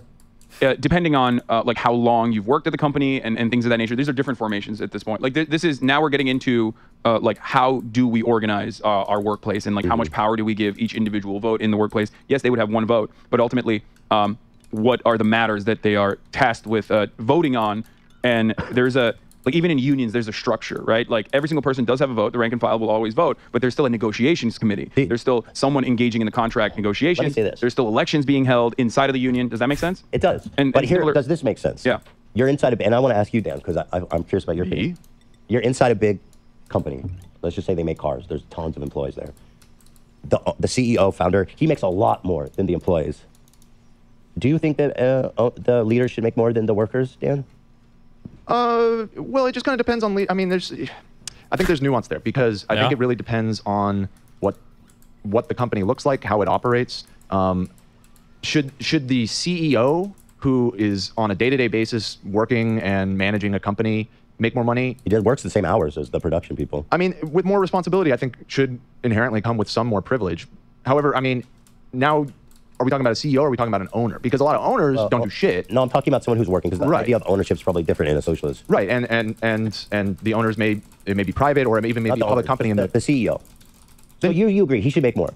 So let's depends. so It let's depends. follow It- it just You're- depends, There's not there's just there's not room for nuance. Mm, you you- can't, there's just not. What do you mean If, you, if you're living in a socialist country, this shit needs to be like laid out. Like there's not room But- for but nuance. like- where but- in every workplace no, just like we're going to decide just like there's different rules nuance under capitalism where you have the freedom to No, but there's rules, like regard. minimum wage. But with rules, exactly, you would have the similar structure uh, pegged to like. I'm trying to uh, ask you guys what the rules are. I keep getting these nebulous like, like a maximum answers. wage tied But- directly to your lowest paid that- employee. This is what I wanted to say though. Let's say Do you hear what I said? I did. maximum wage tied to like uh there there could be a, a situation where like a maximum wage could be implemented under a socialist structure to ensure that every single workplace has at least a maximum wage that is directly tied to the lowest paid uh, lowest paid worker and their full blown compensations and benefits package they okay, get. let's just go back to so the, the CEO he earns more. He has more responsibility. Oh, Hasan, you said he's. I don't he make a agree with that more. either. No, no, no. I don't agree with CEOs having more responsibility or, or should earn more for the record. Uh, uh, What? What you just said? no, that no, no, no. I, if you're The an dude has the owner operator, the if you're an owner operator and you're literally fucking, I was talking to Dan about this before, uh, earlier before you got here, but it's like the difference between what you do and the difference between like let's say a jewelry designer is that a jewelry designer can outsource their fucking labor, but you are the main product here, which is I'm- why which it's is very why hard for you to see it. I'm using a different example. Yeah. Like so if you're a fucking jewelry designer and you are responsible for all the beautiful designs in your jewelry that's like super competitive, everybody loves it, everyone wants to buy your fucking jewelry. Right. Um, you can still hire other people like designers to help uh, benefit that process and and make better jewelry. workplace Okay. where everybody's altruistic, Yes. they vote to say the CEO should make more money than us. Yes. Well, the way that works would be slowly but surely as you bring on more people into your company or as you expand and you grow, okay, in a democratic capacity, you are taking away the the earnings that you have uh, right now and eroding it because you're giving it to some people that are coming in because you think that they're valuable enough to be able to pay that way uh, to be paid that way. But that process is being democratically voted on, and ultimately, you know that you're doing that because you're in your understanding. Later down the line, if you care about this sort of thing, you're going to make even more money. Or rather, money, rather money shouldn't be a motivator. money should not be a motivator. You're right. Why Like, does in my C- situation, Why does not. the CEO care if his company makes more money? It's not. He's not going to make more money. No, no, it's long in the long term, you are creating more stability this way because you understand that every expansion of your of your uh, productive output, okay, every single piece of expansion on your productive output yields better long-term stability and more money if that's what you're fucking motivated by. But ultimately, that's not the main motivator, uh, and, and it should not be the main motivator. I think that's a horrible thing to say if you're considering socialism that money's a motivator. That's like I almost think like some that's like almost like taboo. I feel like. no, don't don't worry about what other people say in the situation or what you think people will perceive from what I'm Let me go back. Let me go back. Because like, because there's a that, that part is irrelevant. Okay, Oh, so let's say in a world where the CEO makes more money, do you think it's a, a possible or even likely situation that the the heads of these companies who make more money are going to want to influence the government and their workers to vote or support legislation that gives them more money or more influence? Is that a likely outcome? Wait, can you can you ask that again? Sorry, and I, I within saw a a comment saying you were rectangular, and it fucked my brain a little bit. I, I- I think that uh, I, I think that yes, and I think that speaks to what Hasan was saying. Ah. I think that's what it speaks to what Hasan was saying earlier about why a lot of Marxists uh, uh, have criticism of social democracy. That that lack of elimination of the capitalist profit motive part of the economy It, doesn't. will will doesn't naturally work. result in what Yeah, you're that's saying. That's my point. So thank you, Dan. In socialism, Jesus. the motive, the money motive, doesn't. It, it's literally incon- It's not compatible. It doesn't work because you're going to have people at the top who are going to want more. They're going to want more influence. They're going to want more power. They're going to want more money, Mm-hmm. and they are going to exert their influence, their status. Even if they don't make more money, they have status. Yeah, there's sure. going to be there's They're going to have. They're going to be able to influence. shit. Socialism is not egalitarian in the sense that there's like what I'm saying, Dan, full-blown there's a problem equity. here? Socialism So- does not. Socialism only exists when you remove the money motive, right? Dan? Socialism and the way we understand socialism, yes, uh, the money motive is is. Now we're talking about. that doesn't now we're talking about. The oh my god, how is this one so bad at it? He can't even explain his own side. The money motive can still exist in socialism. You can be a socialist company that's more successful than another socialist com- company, and higher people in that socialist company are going to earn more money than other people in the company. The difference, though, is your relationship to your actual means of production. When you go and work for a company, you have an, equ- an equity owner stake. That doesn't mean you've got the same voting power as everybody else. It doesn't mean you've got the same equity stake as everybody else. It just means that when you go to a company and you work, and the fruits of your labor are increasing the value of that company, you are directly benefiting from the increase of the fruits of your labor because you have an equity stake in the company. Now, you might be a really good artist and you go work for a better cooperative or you go work for a better company that is making more money for all of the employers or all of the employees, well, employees and employers, you're kind of one of the same. But like that's that's the whole point. Like you can still make more money in a quote unquote market socialist environment. That's totally fine. You can make more money in that environment. You can make more money than other employees in that environment. None of this is inherently contradictory. I don't know how I can't explain any of this. Jesus you want to do? it.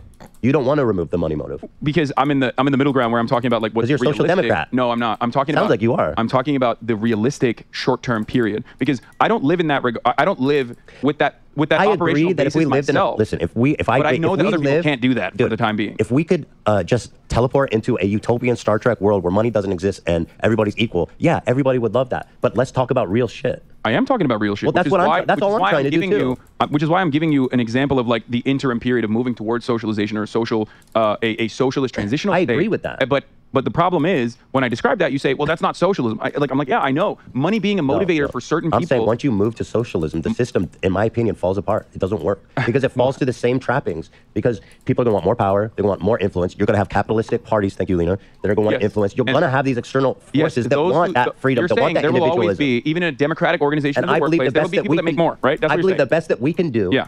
is provide laws and regulations that guarantees people a fair, equitable life.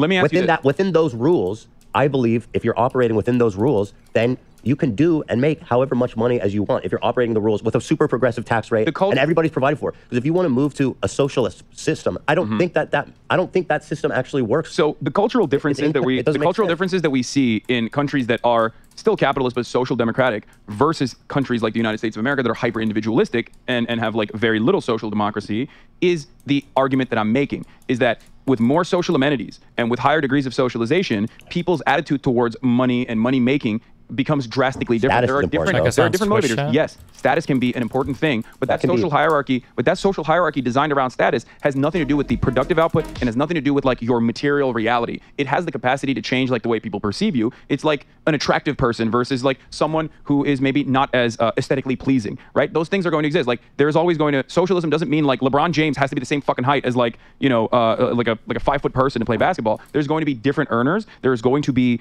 uh, there's always going to be some level of competition. okay. This is not a bad thing. This is a good thing. This is how you this If- is how you innovate. If there's different levels of earners, do you agree that that seems to be incompatible with Marx's theory of socialism?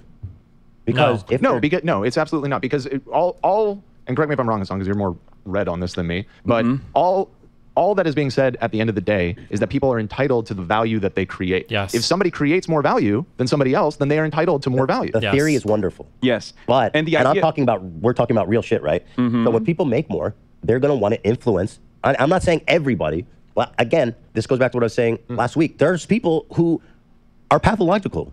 Okay. Yes, there's always bad and, and, and even in a socialist country, the sociopaths are probably going to float to the top just because they're willing to do everything that other people aren't, or they care about status and power where other mm-hmm. people don't. And so these high functioning, highly motivated sociopaths uh, are going to want to influence government and business democracies to mm-hmm, mm-hmm. increase their power and influence. Like they do now under a Yes, like they do Right, now. Right. And Okay. that's why I think it's not realistic to expect that not to happen. And I think the most realistic and the best way is in between. Because capitalism. can I counter what you said? Hold on. Capitalism doesn't work. We know that. Mhm. And I think socialism doesn't work for the same for the same exact thing. Mm-hmm. Because people are going to want to. The psychopaths are going to want to move it.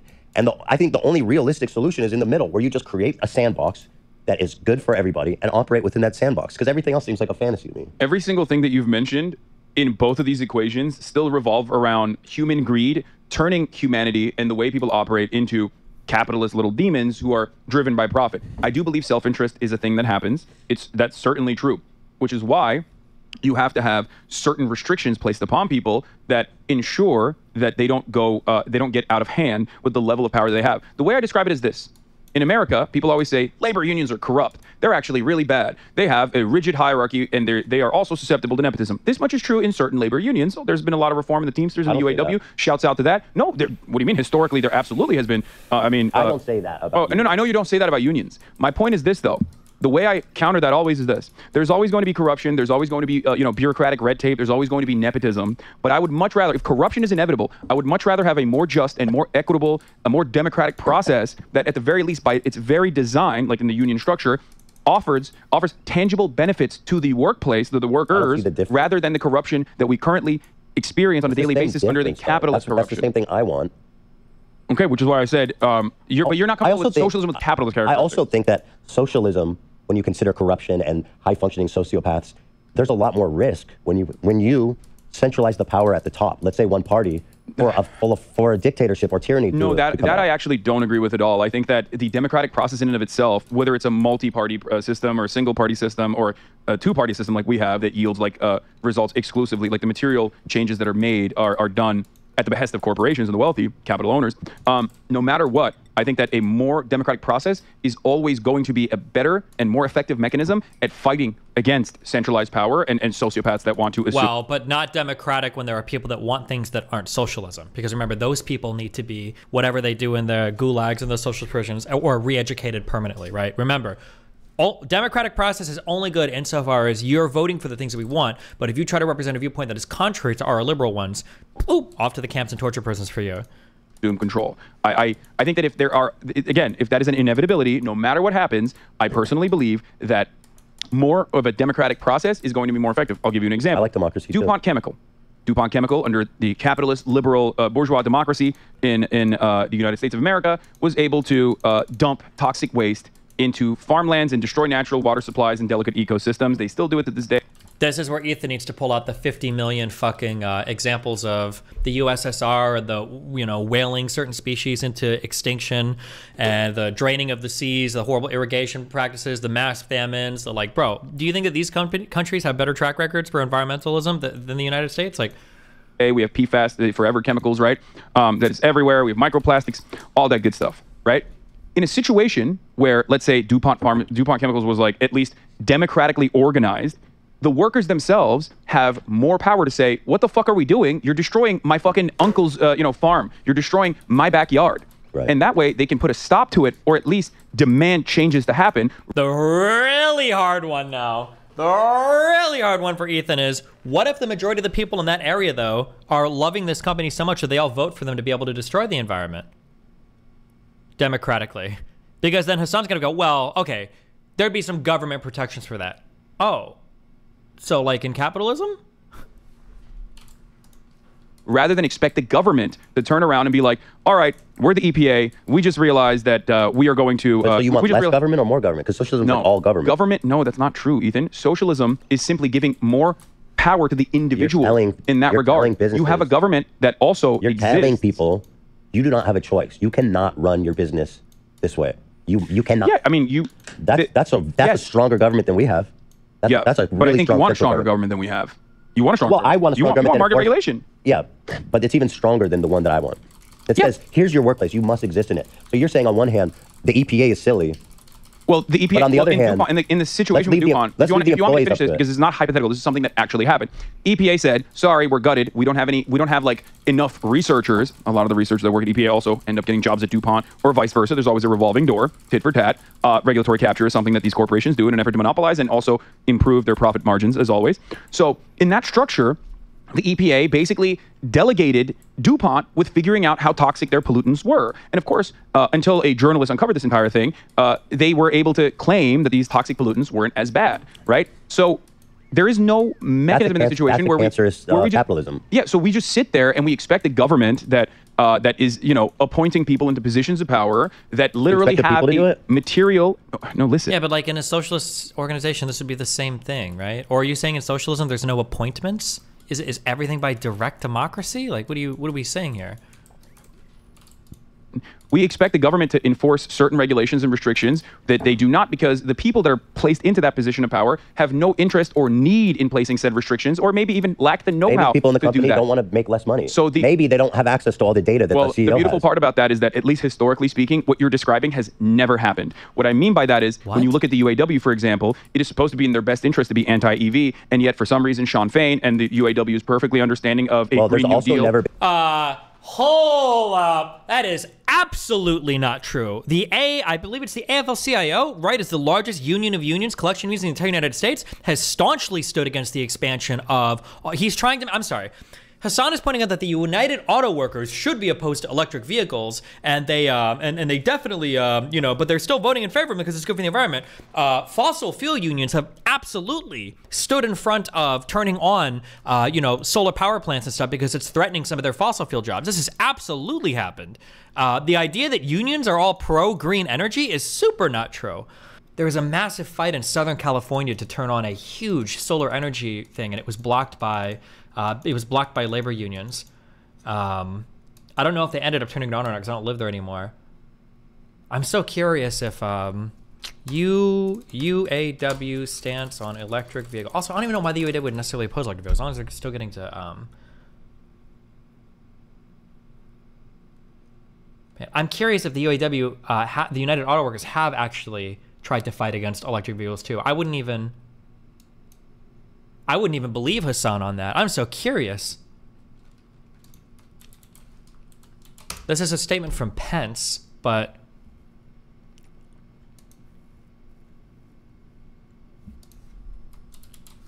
Pence, UAW pushing back rightly against Biden's electric vehicle policies. Former Vice President Mike Pence supported the United Auto Workers strike, saying the union is pushing back rightly on Biden administration's policies encouraging electric vehicles. Hold on. I'm just, I haven't looked at this particular point. Do you really think it's makes something? AP fact check. Biden overstates UAW support of electric cars. President Biden glossed over important details and oversimplified the facts of his boast. And his boast about support for the uh, from the United Auto Workers Union for his efforts to dramatically increase sales of electric vehicles. In his remarks Wednesday, Biden failed to say that the UAW did not endorse the EV targets he set in an executive order signed last month. The union support is also dependent in part on robust government support for union made cars in the form of tax credits and legislation pending in Congress. While UAW has expressed support, general support for more EV sales, it has repeatedly declined to back goals urged by Biden in, as part of his ambitious plan to combat climate change. Biden last month. No, no, no. Remember, don't forget. At the end of the day, please do not ever forget this. Don't be stupid. Unions aren't here to help the country. Um, unions aren't here to make everybody's lives better. Unions aren't here to blow. A union is a business, essentially. A union is a firm that represents its members that are workers. Unions exist ideally in order to give more bargaining power to workers against corporations that they work for. That's the whole point of union. A union can do good things and a union can do bad things. But at the end of the day, the unions, if they're not there for environmentalism or for socialism or for AOC or Bernie Sanders or Hasan Piker, a union is just there to represent the interests of its workers. That's it. Do not ever forget that. Don't ever forget that. That's all a union does. Okay? No more and no less. It could be good, it could be bad. That's all it does. Okay? The 50s, 60s, 70s, unions were there to enforce racism against their workers so that black people couldn't hold jobs. Um, today, you can argue that, uh, you know, unions exist to protect employers against uh, firms that have way too much fucking bargaining power, that corporations have gotten really big and now employees on their own can't uh, manage their labor against a big corporation who has way more, you know, monopoly or at least monopsony power depending on the market, right? So a, a, union can be good, a union can be bad, okay? A union can be teachers coming together and fighting for more wages because teachers are historically underpaid in the United States, or a union could be police officers hiding the fact that another police officer innocently murdered somebody because they don't want to all get in trouble, right? Unions can't be good, they can be bad, okay? It just depends. All a union does is it, it, it supports the workers that are part of the union. That's it. No more, no less. That's it. Don't ever forget it. Don't ever forget it been and a company that, that- has a purely socialistic hierarchy where, where they That's make true. less. There's there's cooperative where people corporations. okay where they make less. Like Mondragon is a good example. Uh, Mondragon is not the best example, but okay, it's that's like a federation of cooperation. It's not one big co-op or whatever. But and have they been uh, have they been levied with the task of deciding to make less money to help the environment? Yes. When? Absolutely. Uh, uh, not not to, not, to, not to help not to help the economy, but they My point is that saying one is better than the other is just theory. You know. well we are talking about simply theory I think because a we both strong agree that EPA capitalism doesn't work. I think a strong EPA is great. In fact, I think you'd still need an EPA in a socialist country. I don't think it eliminates the need for the EPA. Agreed, 100%. Correct. Which is what, so what I- that, exactly. So then, what what is the point if I'm saying is, in that socialist formation, there is actual real mechanisms of control that can put a stop to this kind of thing, rather than col- uh, le- rather than power accumulating in the hands of the few at the top of the corporate structure that then make these decisions, make these hiring practices, to get these people great. in the revolving door. In theory, what I you're think saying in, is in practice it would be great as well. I think We in practice it would be great, but I don't think it's. I don't think it's possible. But, but okay, so now. So let's go back to this idea so of greed, first right? You said, 'Cause you're so first you said the theory doesn't work. Now you're saying in practice it won't work. No, because it's not. It's not. And what it- I mean is that it's you can't organize it that way. It won't work. In, in, you know what I mean? But, but I'm, we what I mean is it. that we, we do see different. You and I. Ethan is kind of railroading Hasan on this debate now. It's a little awkward, but I are in agreement that higher degrees of socialization is a benefit. Okay, we, we're in agreement. You like unions. You want workers to have more control. You want workers to have more power, more Yes. say, uh, and have more autonomy ultimately. So you and I are absolutely in agreement on that front. So to say that that doesn't work in theory, I, I think betrays talking the, about the workplace specifically. Well, yeah, in the workplace as well. It's a, that's You're a in big, agreement, no? That's a, huge difference. We spend 80% Does the work- of our adult lives in the workplace. This is the most important and I believe for it should be regulated. organization. Listen, um, we, we seem to have a disagreement with about like greed. Like there seems to be this notion that people that live in a capitalist country, we we understand greed and desire for wealth uh, differently. Than uh, an example always see is like Also, keep in mind too. I'm sorry. I'll, I'm never because he wants the credit for it, so I'll give him the credit for it. Okay, he is the biggest and baddest. Okay, politics streamer on the internet. Supposed to be the most knowledgeable dude on this shit, and he's kind of sort of getting reamed by Ethan Klein. Who, not to knock Ethan, he's not stupid, but he's definitely not the uh, premier politics doer on the internet. Just saying. Native Americans, and that's part of why I can't conceive of a true socialistic country. You're, you're As a union business agent, they do more than just what Destiny said. What do you mean, the Rotbringer? Please tell me what union you're a part of, or what industry, and what do you think you what do you think you do that is opposed to what I just said? Saying that like uh, you know primitive communism or primitive accumulation which has been uh, the foundation of like societal development for much longer than uh, the industrial revolution or post-industrial revolution capitalism right How big is DG compared to Hasan? I mean, it really depends. Um, if we're talking about how big is DG in terms of like political relevance, we're basically nobody. We're probably some of the most irrelevant people on the internet. But if it's ever a day where Hasan feels sad or people are bullying him, then we are literally the strongest, most malevolent force on the internet. Uh, it really just depends on his mood from day to day, or the mood of whatever political person I'm wrestling with, I guess. right I've seen a lot of people say that greed is learned. That if you grew up in a, in a pure Yes. socialist society, no absolutely self-interest is a, Okay. is a real thing that people have but people can be taught and people can uh, learn that the the collective aspects of societal development are far more important for self-interest than the individual the hyper individualistic like i'm gonna get mine fuck everybody else So let me. The point of going to this greed discussion is to talk about like human nature. In that, in a, I believe that in a perfect society, socialist society, there'll be forces of influence of wealthy people, people with status, people with power, wanting it more for themselves. my argument And, and, always and I is- believe that that's an, my and I believe that that's innate. Yeah, if, if so, first of all, uh, I don't think that there's a biological imperative. I think that, like I said, What's the difference? self-interest? Self-interest can be What's if you have a resource hoarding and greed? yes. So How is how is accumulating lots of money different than resource gathering or so accumulation? I will describe it to you. A society that heightens um, collectivist understandings, okay, as a consequence of it being directly tied to our, uh, at this point, our means of production and how we understand it, how we how we uh, generate commodities, is going to have the exact opposite opinion on collectivism versus hyper-individualism in the way that you see it under capitalism. More people will have a, a collective understanding that like we are in this together and that we're working side by side. Um, Most, not all. And then yes, you're right. And the reality is that there will still be people who are self-interested, people who will still want to utilize uh, uh, the the existing constructs, the existing hierarchies to their immediate advantage at the cost of others. But my point is that if that is an inevitability, which I agree, because there will be people who are sociopathic, criminals, Okay, uh, at least- charlatans, uh, the okay. lumpen pros, and whatnot. Yeah. Okay, that will always exist. But even if that exists in the hype, in, and I'm being very realistic about this, wouldn't it be better to have more mechanisms of control in the form of democracy and have to, and ensure a world in which everyone has more autonomy in a place where they spend 80% of their lives on? It would be. So yeah, then, then we are in agreement. we're- there's a rubber band. You know, it's pulling us. The center of gravity is social democracy, capitalism, socialism, and the rubber band's pulling us in both directions towards the center. That's what I believe. Okay.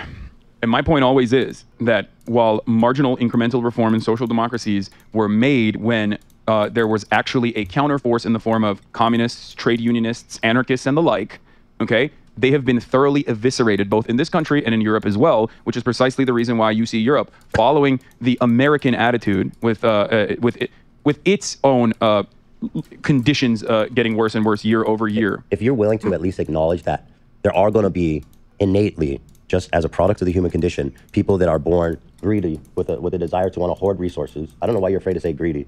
They're hoarding resources. Um, if you're willing yeah, to admit that they're going to be like- bad people, Yeah. then then that's okay for me because there was some takes I saw No. that pretended like that. Don't don't have a conversation with people on, on on Reddit who also themselves will probably change their uh, ideas. Uh, There's there's people are very rigid, especially under the guise of anonymity online. Uh, it's it's not reflective of the the actual conversation that you could be having that's productive. Okay, good. I'm glad you hear that. But I yeah. So let's move on I to- fall into this trap too. I yell at fucking people in my chat all the time because I sometimes uh, lose sight of like sarcasm and I can't get an accurate assessment because I don't know where I you're coming be from. really bad.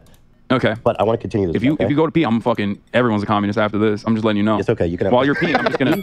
Maybe we should both go so you don't get the advantage. No, I'm gonna get You the don't need advantage. to pee. You No. always pee before me. No, I'm holding it in. no, I don't need to pee. Oh, there's no shot. You don't need to pee. Yeah. I'm not taking a pause. Oh God. no, not. You want me to mute his mic? That's fucked up. Um, I'm reading. I'm reading the Nope, comments. I have control. I have control. Uh-oh. Ah, there you go. the comments now. Oh no. I, I think this is a. I think this has been a, a relatively productive conversation. I mean, God knows what people will do to pick this apart because we're every single time we have conversations, it's very frustrating that like there is a secondary market, like a, like a cottage industry of, of people who will like pick apart every uh, detail and Sure. make these like grand uh, assertions off of it, which is very frustrating because it's like. like, I guess if you're from one of these communities out there, and there's plenty of them, uh, there's so many Who's people that make about? videos, right? I mean, how we do like- it. I mean, like, bro, you're doing a public podcast on the internet. Yeah, people are gonna react to your shit. You do it too. Why do you watch Ben Shapiro? Why do you watch Andrew Tate? Why do, yeah, yes, this is what we do. Hello. Destiny, do you generally support unions? Even with police union example, couldn't that union be seen as positive pushback comparable to our company? Um, I, so my um my feeling is that um my feeling is that today capital is incredibly powerful. Corporations are incredibly powerful. Uh, I feel like it's pretty essential to have unions to negotiate on the side of the labor against capital because capital has so much power today in the United States, probably in most of the Western world. So I would say, largely speaking, I think unions are good things because we probably need more representation on the worker side versus the corporation side, which has plenty of advocacy for itself. So yeah. I'm not going to say like that the they're H3 podcast is. What? Uh, I mean, I would say the H3 podcast. uh, we, we do that too. You know what I mean? Yeah, yeah, we do that as we do that as well. Yes, I do that as well. But like my, my question always is like if you're coming from one of these communities, like don't you feel like you're duped a little bit by your by whoever you trusted into believing that there's like genuine uh, discord and, and division here? Like Talking about you. Nobody thinks that like this podcast is probably not ending based on this disagreement. I th- didn't I say that? Like you would be pretty unhinged to think that they're gonna like shut their podcast down over this. It's just funny to watch the premier political stream on the internet like be so utterly clueless defending the ideology that he spent like so many years simping for against. No offense, but against Ethan Klein. That's just very funny. You and Ethan. Uh, yeah, like having me a and falling out. Ethan, or even well, people didn't attack you as much. Surprisingly, it was more so me, even though you and him had a a, a big disagreement as far as Well, nobody gives a shit about me. I mean, come on. Uh, it's, it was do. odd. I don't know Oh, thank you, because you have a lot of uh, differing opinions as well, but for some reason you weren't getting uh, you weren't getting criticized as much. It's almost like people are more self-interested in, in certain directions. It's almost like people have different expectations for people depending on how they sell themselves on the internet. Like, what? Like, do you think he's saying something insightful or profound there? like, but I think there's definitely an element of that. People definitely have it out for you. And also, I think uh, I think I saved myself a little bit by being um, uh, at the beginning. I don't know if you caught how much of that conversation you caught, but I, I was very reluctant to engage in that conversation. And so, you know, anything that I said was kind of tinged with the fact that like Dan doesn't even really want to be here. So I, I guess maybe that softened uh, people's anger. I'm sure people did get angry about it, but frankly, I, I was stressed about it afterwards just because like I, I don't know, I, I don't like being the center of attention, and so I stayed off of I stayed off of social media all weekend. I, I just didn't look at it. Yeah, Ethan just said they were glazing me up. Well, I'm sure some people were, but Yeah, they Um, were saying Queen Dan, Wan. they were saying Wan. Um, yeah. you know, maybe I'll take this as an opportunity to uh, to drop a little bit of knowledge. I don't think I've ever actually shared on the show. uh oh. But, uh, um, my uh, one side of my family was actually uh, I am descended from a bunch of like hardcore Bolsheviks in the Russian Revolution. I knew it. Fuck, dude, that's you. That's I right. We were actually trying to draw this out of you, dude. You're fucking done, son. My, my last name Swerdlove is a uh, bastardization of Sverdlov, who was uh, one of Lenin's like lieutenants in the Revolution. You the don't need to revolution. run this out. Um, You sure you want this to go out? I mean, I'm kidding, I'm this- we're talking like Damn, great. dude. We're talking like great great uncle or something here. I, I- you know, knew it. it's I just not really like your, directly your, connected. proletar- the, your family's proletarian violence and his contributions have been noted, man. Yeah. That's We're Czarist here. How dare you? sorry, sorry, I didn't want to Yeah. piss off the whites. Um, Yeah. So I, yeah, I know. I always see this picture and I'm always like, dude, he seems a little too comfortable in that outfit. but like he's just filling that uniform. It's a Halloween Little costume. It's a. Halloween Yeah, yeah, costume. yeah, I'm not, I'm not a weirdo. Thank you. Okay. Red scare. Red scare. Yeah. Red scare. Red scare. Okay, so I want to move on to some more practical topics, but before we do that, I want to say, Uh-huh. I think this is a great conversation. I agree. And anyone that's mad, you're wrong. Anyone who's upset right now about this conversation, you're just you're wrong. This is a good conversation we're having. You know, people get heated, but uh, I've been I've been keeping an eye on the chat, and uh, I think a lot of people have found this uh, really interesting. Okay, good. Yeah. The last time was a little jading, but I wasn't going to stop me. But anyway, also I want to emphasize that we agree on so much, like literally 95%. In in the And practical application, in the short term, we are in agreement 100% of the way. If Yeah. you like Bernie Sanders, then you know you're good with me. That's like that's my opinion because Americans do not have any class consciousness, and you have to build that. There are certainly differing opinions, like people who believe in accelerationism or whatever. But I truly think that uh, America will only accelerate towards barbarism as it has, and not necessarily socialism, without any kind of uh, without people believing that like they have any any kind of autonomy in the workplace, any kind of means of collective bargaining in the workplace.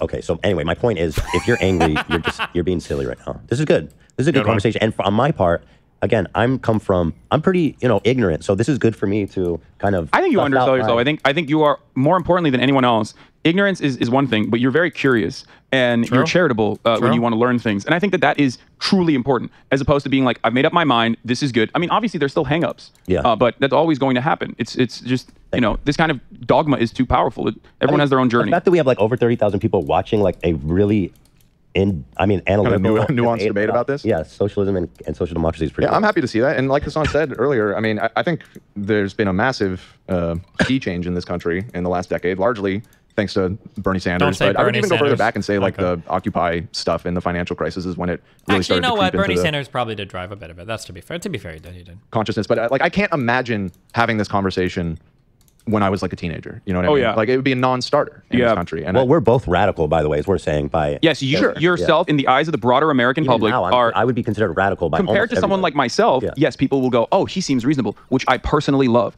I think that that's a fing great thing. I don't think because the more that. Insane be I look, the more sane you look. And in the short term, what you're advocating for is unironically a good thing, Rob, which is why I also You look crazy for once. I look sane for once. no, but like, but that's my point. Is that that's why I also uh, we're working in the same. The that's same why I also common- try to engage in movement building in the other direction as well. Whenever there's like, because there's plenty of people who fucking hate me on uh, to the left of me who have like radical, you know, Maoist third worldist opinions or whatever the fuck. But I never give that any kind of light or any kind of attention or dunk on it because I feel like, yeah, they look crazy or whatever. Who gives a shit? Ultimately, if they are working in their own way to erode the power that capital has, then you're good in my book, and that even extends to social democrats to the right of me as well.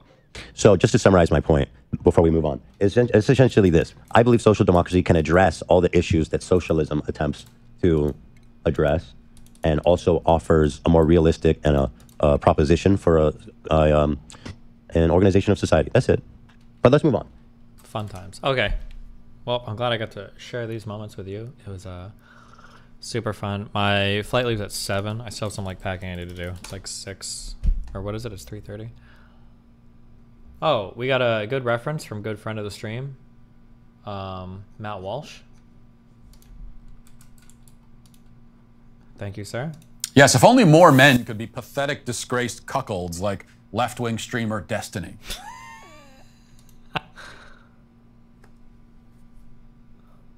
Thank you. Thank you, Matt Walsh. I feel like if I still did dono sounds, that would absolutely be a dono sound, but I love you guys. Ribbon, cappuccino, cappuccino, cappuccino.